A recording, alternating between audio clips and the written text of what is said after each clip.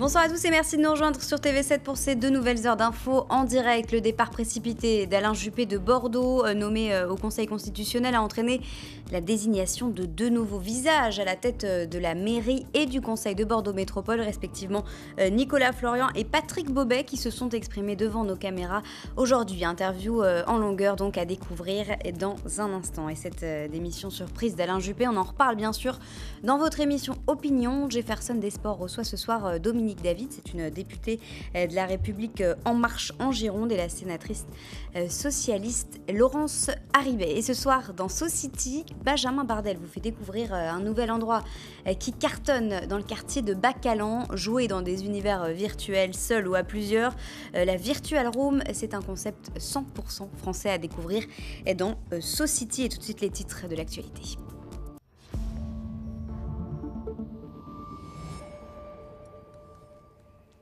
Dernier euh, conseil de Bordeaux Métropole pour euh, Alain Juppé ce matin après l'annonce euh, de son départ pour le Conseil constitutionnel. L'heure était aux hommages ce matin. Le quartier de Codéron a-t-il perdu son attractivité après D'après les derniers chiffres de la Chambre des notaires de la Gironde, la Bastide est aujourd'hui plus chère que les secteurs de Montséjour et l'Estona à Codéran. On en parle en détail dans cette édition. Et une page sport également à retrouver dans ce journal avec euh, le retour de l'UBB sur le terrain de Clermont après la trêve internationale et du football avec euh, un match à domicile pour les Girondins 13e au classement qui reçoivent Toulouse ce dimanche. Côté météo, on va pouvoir profiter euh, d'un beau week-end, grand soleil notamment demain après-midi après la dissipation des brouillards du matin, température très agréable, vous le voyez, entre 15 et jusqu'à 19 degrés au meilleur de la journée. Alain Juppé présidait donc euh, ce vendredi son dernier conseil métropolitain, une séance marquée euh, par des hommages quasi unanimes avant de reprendre les affaires courantes. Franck Poirot. Cette séance est ma dernière séance avec vous. Et c'était, je crois, perceptible hier. Ce n'était pas joué, c'était sincère. Je le fais avec euh, une certaine émotion, et même une émotion certaine. C'est sous les applaudissements qu'Alain Juppé a clôturé son discours devant les élus métropolitains. Ces mots concluent 22 ans de présence du maire de Bordeaux, soit comme président, soit comme premier vice-président au sein de cette collectivité. À la suite, certains vice-présidents ou certains conseillers de différents bords politiques ont pris la parole pour exprimer leur gratitude à Alain Juppé. En premier lieu, les transformations de l'agglomération, comme le tramway, l'embellissement des quais ou les franchissements de la Garonne. Euh, l'économie est au zénith, euh, la ville centre rayonne de beauté, euh, l'art de vivre a été maintenu et développé. Bordeaux est aujourd'hui une ville du Sud alors qu'elle était une ville grise. Vous aurez marqué notre agglomération de manière durable, de manière importante, et pour cela, on doit vous en être éternellement reconnaissant. La méthode Juppé a aussi fait l'objet de remerciements de la part des élus de la métropole. Ils ont salué la manière avec laquelle le maire de Bordeaux a su diriger cette collectivité en cherchant le consensus politique pour faire avancer les projets métropolitains. Une tradition en vigueur depuis la naissance de cette collectivité, même si quelques joutes oratoires entre Alain Juppé et ses opposants ont eu lieu au sein du Conseil. Je peux vous le dire maintenant, j'ai toujours préféré vos emportements de séance, vos coups de gueule, au calme plat des consensus émollients qui caractérise tant la gouvernance métropolitaine. Pour maintenir la flamme, nous vous enverrons à Paris, aux deux rues de Montpensier, des cartes postales du Grand Stade, de Darwin ou de la Jalère. Vous êtes euh, d'une certaine manière un honnête homme dans une période qui n'est pas honnête. Quelquefois, la dureté de vos réactions, de vos paroles, l'ont profondément blessé. J'ai été aussi, moi, blessé souvent par vos propos. Mais bon, il n'y a pas de démocratie sans opposition, il n'y a pas de démocratie sans débat. Il est très important qu'il y ait des partis d'opposition dans une démocratie, sinon c'est la rue. Les discours de remerciement et de reconnaissance vis-à-vis du maire de Bordeaux ont duré près de trois quarts d'heure ce vendredi matin. Alain Juppé, quant à lui, a souhaité que pour les 13 mois à venir, d'ici les nouvelles élections municipales, les équilibres politiques soient respectés au sein de la métropole, que la cogestion, le consensus pour faire avancer les projets métropolitains soit encore en vigueur. C'est désormais le maire du Bouscat, actuel vice-président aux finances, Patrick Bobet, qui devra assumer cette tâche au sein de la métropole. Et suite euh, au départ euh, d'Alain Juppé de Bordeaux, Virginie Calmels, sa première adjointe souvent au cœur euh, des polémiques, a annoncé qu'elle quittait la vie politique. Elle a expliqué les raisons de cette décision devant le Conseil métropolitain également ce matin. Alain Juppé, c'est vous qui m'avez fait venir en politique. Je n'étais pas du tout ni encartée, ni militante est très éloigné de ce monde politique. C'est vous qui m'y avez fait venir.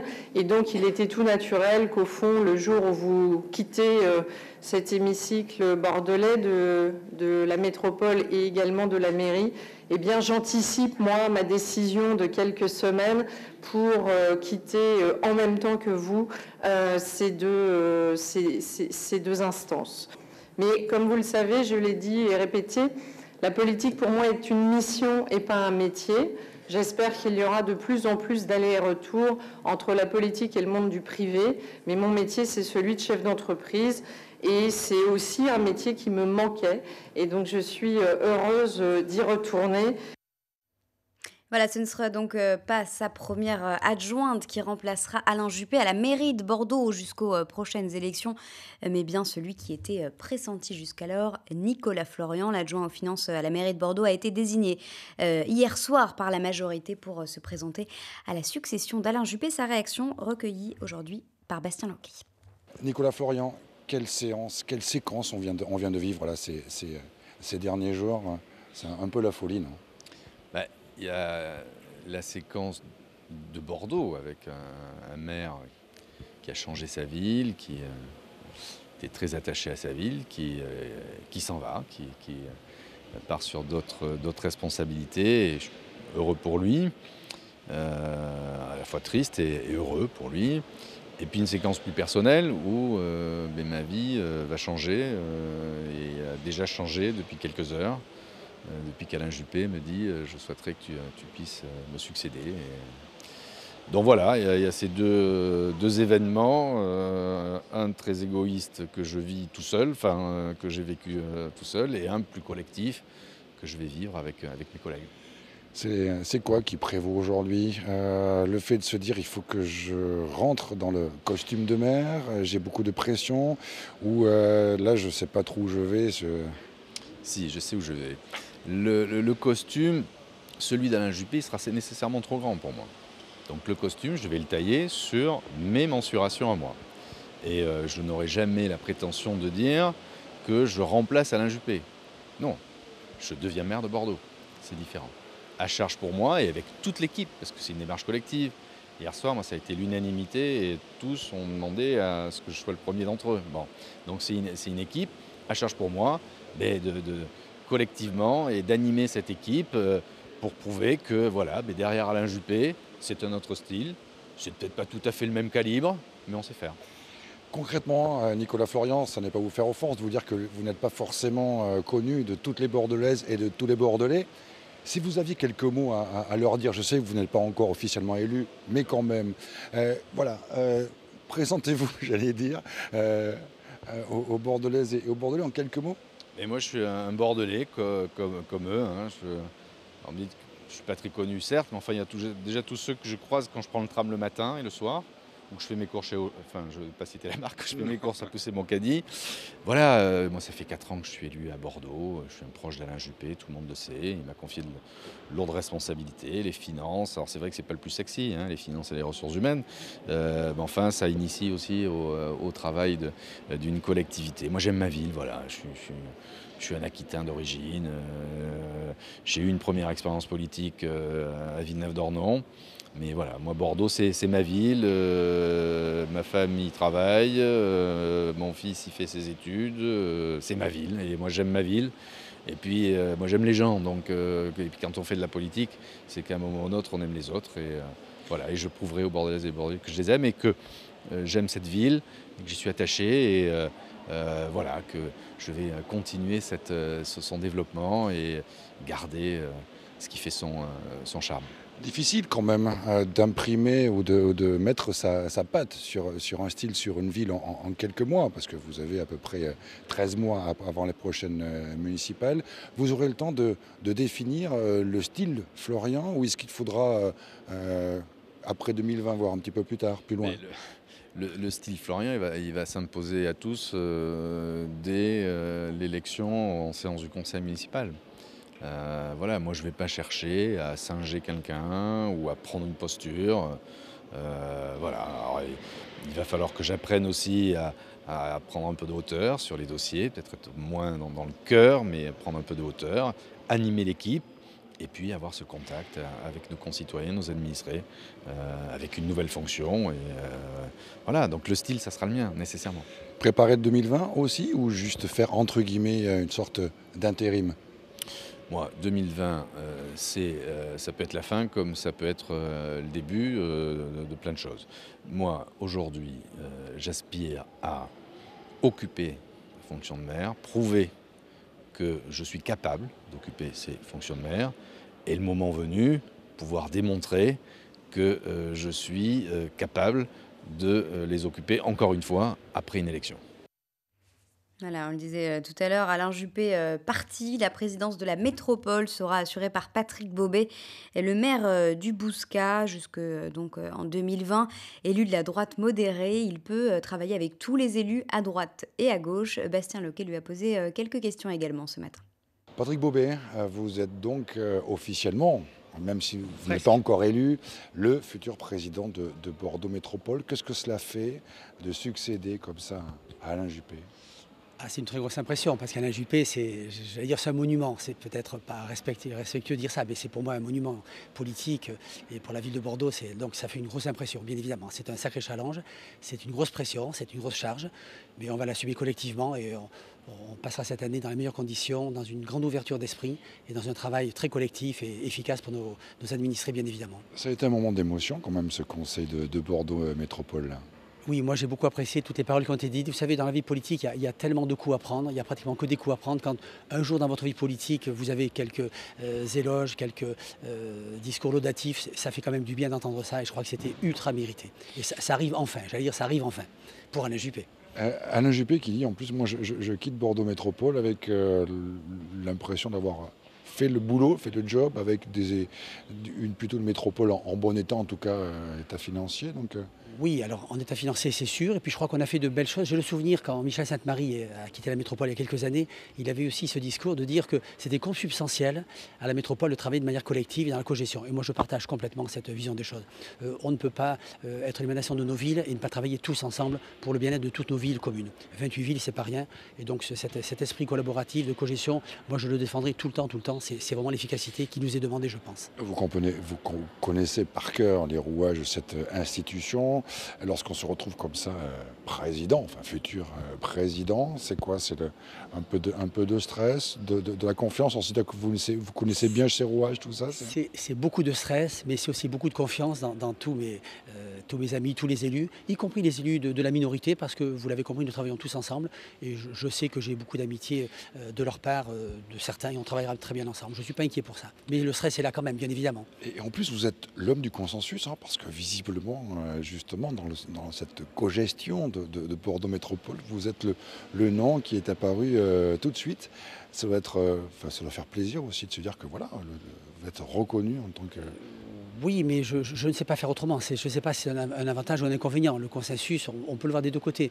Mais moi, c'est dans ma nature, donc je ne peux pas changer. On, est est. Je suis, j'aime que les gens soient d'accord parce que je crois euh, qu'une décision collective qui est prise, elle est forcément de meilleure qualité si elle est très très partagée, le plus largement partagée possible. Alors, on sait quand même que euh, Bordeaux Métropole est quand même une institution qui a un pouvoir important euh, aussi de, de, développement, etc. Vous êtes l'homme fort de la métropole. Oui, mais vous savez, l'homme fort, il n'est pas tout seul. Hein. Euh, je crois qu'on a quand même, dans mon esprit, on a quatre grands piliers à, mettre en place euh, rapidement, à développer. Euh, pour moi, c'est tout d'abord, bien sûr, tout ce qui concerne le transport, le déplacement. On est très conscient que c'est compliqué. on va sortir du CEDM d'aujourd'hui pour retravailler sur, sur l'avenir. Ça, c'est la première chose qui me paraît capitale, déplacement, transport. La seconde, c'est l'accueil en termes de logement. il faut là aussi qu'on puisse accueillir plus facilement et à des prix les plus abordables possibles.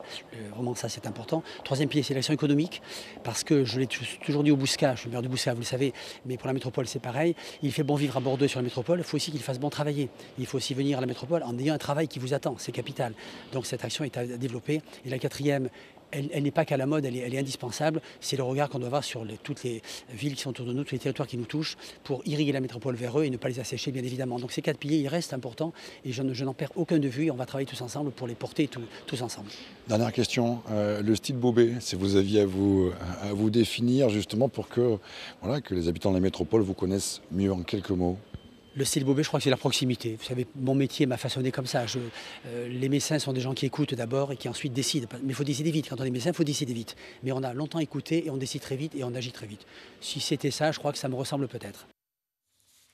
Dans le reste de l'actualité, euh, nouvel acte, acte 14 de mobilisation des Gilets jaunes ce samedi. La ville de Bordeaux appelle euh, les riverains à la prudence face euh, au risque de débordement. La mairie qui a pris les mêmes mesures que les semaines précédentes. Le tramway sera notamment interrompu en centre-ville à partir de midi et la plupart des parcs et jardins du centre-ville seront également fermés.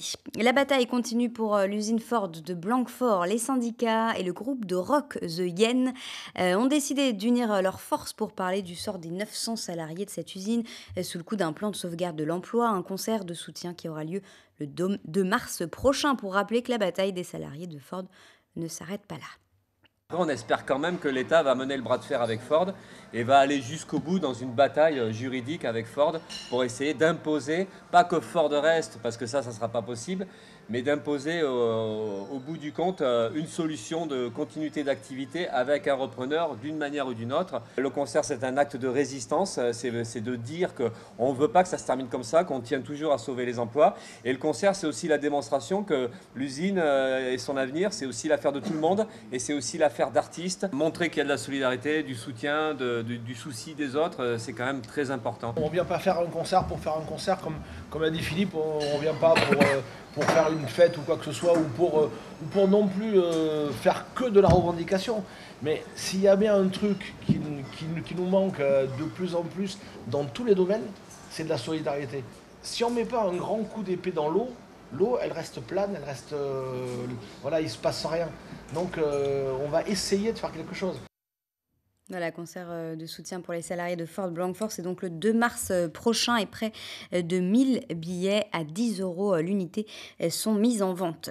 Codéran a longtemps été le quartier le plus coté de Bordeaux, mais aujourd'hui, si l'on en croit les chiffres des notaires, ce n'est plus le cas, même si les prix euh, immobiliers ont continué à augmenter, Codéran a moins profité de l'embellie euh, générale que d'autres quartiers, y compris Rive Droite, mais ici, habitants et commerçants défendent becs et ongles leur village et ses atouts. Dominique Parmentier. Avec un prix médian au mètre carré dans l'ancien à 3380 euros, selon la Chambre des notaires, le quartier de Codéran, longtemps le plus cher de Bordeaux, est donc aujourd'hui l'un des moins chers loin derrière l'hypercentre et les quinconces qui affichent un prix médian au-delà des 5000 euros, mais aussi derrière le quartier de la Bastide à 3770 euros le mètre carré. Mais si l'on en croit cette agence codéranaise, ce quartier très résidentiel a toujours la cote, notamment auprès des familles, et s'ils n'atteignent plus des sommets, les prix sont souvent supérieurs. On est euh, sur un prix du mètre carré actuellement autour de 3006, 3007 du mètre carré euh, sur euh, des biens en état d'habitation sans avoir de travaux, travaux faits. Mais nous avons dans notre agence des prix au mètre carré à 5000, 4008, 4005 que l'on vend. En revanche, c'est vrai que par rapport aux années passées où on, a été un peu dans l'irrationnel sur le prix du mètre carré, actuellement, euh, sur des biens qui sont à rénover, on peut être à peu près au niveau de 3000, 3002 du mètre carré. Difficile pour beaucoup de Codéranais, habitants ou commerçants, de reconnaître que leur village, comme ils l'appellent, n'a plus autant la cote, en tout cas moins que d'autres quartiers de Bordeaux. C'est magnifique, hein, le Bordeaux Centre, c'est vrai. Les, beaucoup, les Parisiens aiment bien Bordeaux Centre. Mais bon, euh, moi je leur laisse, je suis bien on est bien ici quand même, c'est un petit village ici, Codéran. Moi je suis surpris parce que déjà les, les, places de parking sont, sont gratuites. C'est rare, euh, partout ailleurs c'est payant. Nous avons les trois meilleures écoles euh, de Bordeaux. Ensuite, on n'est pas loin du parc bordelais. On est très près de Bordeaux, centre. Bref, Codéran n'aurait que des atouts. Même l'absence de tram ne serait pas un handicap mais en cherchant bien. On est peut-être pas trop bien desservi au niveau des bus, le tram je sais pas, mais au niveau des bus, des transversales surtout. Par exemple le 33 là, qui va au lac, eh bien, il n'est pas là le week-end, le 41 c'est compliqué. Non, ce qu'il y a plus qu'Odiran, euh, par rapport à d'autres communes, il y a moins de commerce. Par rapport au Bousca, par rapport à Mérignac, il n'y a pas de cinéma. Ici, à Codéran, on a la tranquillité, euh, il ne se passe pas grand-chose le soir. Une tranquillité visiblement moins recherchée aujourd'hui qu'hier. Passer une nuit euh, dans un endroit insolite de la métropole au bord du lac ou perché dans une cabane, euh, c'est le principe, vous le savez, des refuges périurbains. Les réservations pour euh, la nouvelle saison sont ouvertes depuis hier. 10 abris originaux conçus par le collectif d'artistes Le Bruit du Frigo. Les réservations se font en ligne sur le site lesrefuges.bordeaux-métropole.fr. Allez, le sport avec euh, le football. Les Girondins de Bordeaux reçoivent euh, Toulouse pour la 25e journée de championnat ce dimanche. Un tournant dans cette deuxième partie de saison complexe pour le groupe bordelais qui enchaîne les défaites. Christophe Chavanot. Avant de recevoir Toulouse, les Girondins ont la pression de cette 13e place qu'ils occupent à 9 points des marches européennes et presque autant des places relégables. Avec les trois dernières rencontres perdues, l'heure n'est plus à la défaite. Il faut refaire encore une, bonne série. Il faut faire une bonne série. Il faut vraiment s'arracher. Et puis euh, surtout, euh, donner, donner l'image d'une équipe qui se bat, qui lâche rien. Voilà. Après, arrive ce qui arrive. Mais qu'on soit vraiment... Euh, combatif, euh, qu'on soit euh, content des choses, qu'on soit euh, généreux dans l'effort, généreux dans l'effort. Et on ne peut pas lâcher, on peut, on peut rien lâcher. On n'est pas en situation parce qu'on va se retrouver sinon dans une situation difficile. Et on a déjà vécu ça, c'est pas agréable. Donc il faut vraiment faire les choses bien. Et cela passe aussi peut-être par un regain de fraîcheur avec du sang neuf au sein de l'effectif bordelais. Je ne sais pas si ça manque de créativité. Après, moi, je vais, je vais apporter mon savoir-faire. Euh, on a des recrues aussi euh, qui sont là, qui sont des joueurs offensifs, qui, qui vont euh, apporter à l'équipe. Donc je pense que c'est de bonne augure pour la suite. Il ne faut pas se poser de questions. le football, c'est avant tout un jeu. Donc prendre du plaisir sur le terrain et après, les performances, elles viendront naturellement. Une semaine décisive pour le groupe bordelais puisqu'il enchaînera avec deux autres rencontres, Guingamp puis Nantes. Yann Caramo, qui avait été euh, suspendu par la direction du club la semaine dernière suite à une altercation, réintégrera euh, le groupe dès ce samedi, mais il est euh, peu probable qu'il soit parmi l'effectif face à Toulouse euh, au stade Matmut, donc euh, ce dimanche. Un mot de rugby également, objectif pour euh, l'UBB dans cette deuxième moitié de saison, rester dans le top 6 et accrocher une qualification en phase finale. Et cela passe par engranger des victoires à l'extérieur, défi complexe pour les Bordelot-Béglés qui joueront à Clermont ce samedi pour la 16e journée de top 14. Clermont actuel deuxième du classement est difficilement attaquable à domicile. On sait que toute équipe qui va clairement, euh, hormis Toulouse qui a, bien rivalisé avec un match nul, euh, en prend 30 ou 40. Donc euh, on est prêt, on, sait à quoi s'attendre et on sait que si on n'est pas présent sur nos, sur basiques et sur nos standards, on va, on va pouvoir ramasser. Donc voilà, nous on va essayer de se concentrer sur nous-mêmes, essayer de rivaliser dans ces secteurs et en espérant faire le meilleur résultat possible. Je pense pas qu'il y ait, de, différence entre rivaliser en, déplacement ou faire un bon match à la maison. Je pense que faire, euh, tous les matchs euh, maintenant c'est euh, du combat, de l'occupation, avec les mêmes bases sur chaque match et il n'y a pas vraiment de différence entre des matchs à l'extérieur ou, à la maison. Pour s'assurer une place dans le top 6, il faudrait aller gagner un match à l'extérieur et rester invincible à domicile. Voilà, dans un instant, on va se retrouver pour un nouveau point euh, sur l'actu avec euh, notamment l'actu euh, dans la région en deux minutes, comme tous les soirs, c'est dans votre Zap Nouvelle-Aquitaine. Et puis, comme tous les vendredis, on fera le tour de l'actu toute la semaine dans votre hebdo vidéo. Un peu plus tard dans la soirée, et Benjamin Bardel vous amène à la Virtual Room. C'est une salle de jeu unique en France qui s'est ouverte dans le quartier Bacalan. On se retrouve donc dans un instant pour un nouveau point complet sur l'actu en Gironde et en Nouvelle-Aquitaine.